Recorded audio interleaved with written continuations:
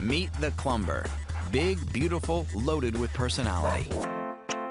As the stockiest of all spaniels, Clumbers can weigh as much as 85 pounds. That's almost 10 times the size of an English toy, the smallest of the spaniel breeds. I think a lot of people would look at a Clumber Spaniel, and if they didn't know better, they might think it was a Cocker Spaniel that had made a few too many trips to the buffet line. Clumbers are relatively rare, with only 200 puppies registered each year in the U.S. By comparison, there are almost 60,000 golden retrievers registered. Legend has it a French nobleman smuggled his whole kennel of hunting dogs to England so they would escape slaughter during the French Revolution. They ended up with the Duke of Newcastle, who named the breed for his 4,000-acre estate called Clumber Park. There's a lot of royalty uh, involved with the development and the history of this breed. So how did this royal breed evolve? It started with the now extinct Alpine Spaniel, crossed with a Basset Hound, and later bred with a Bernese Mountain Dog. They have the ability to track like a hound, but to hunt like a spaniel. Most Clumbers have thick, fluffy coats that are 90% white.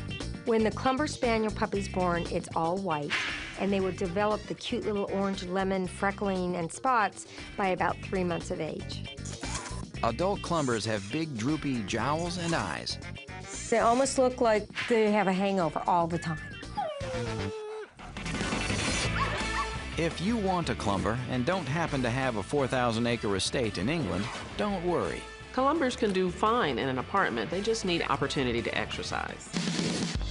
Clumbers can be susceptible to hip dysplasia and sometimes eye problems. Because of the long back, they can have disc disease, and because of their eyes, they can have problems where the lids roll excessively inwards or outwards. While the Clumber has an incredibly soft and pretty coat, get ready for some hard work. I think the thing that is most challenging is taking good care of their ears and their feet. Perhaps it's their British ancestry, but adolescent male clumbers can sometimes be described as hooligans, raiding countertops, fridges, and even high chairs. Clumbers can be great companions and family pets. As cute as they are, they drool and they snore. So carry a towel, earplugs. To recap, the Clumber Spaniel needs significant exercise. They have several health problems to keep an eye on and need regular grooming. Even with early and consistent training, they can still be a little devilish. But they are smart, cuddly, and tremendously loyal.